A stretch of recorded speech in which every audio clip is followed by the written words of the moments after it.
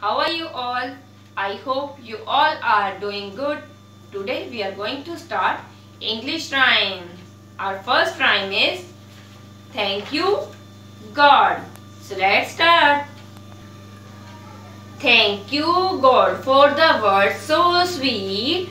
Thank you God for the word so sweet. Thank you God for the food we eat. Thank you God for the food we eat. Thank you God for the bird that sing. Thank you God for the birds that sing. Thank you God for the everything.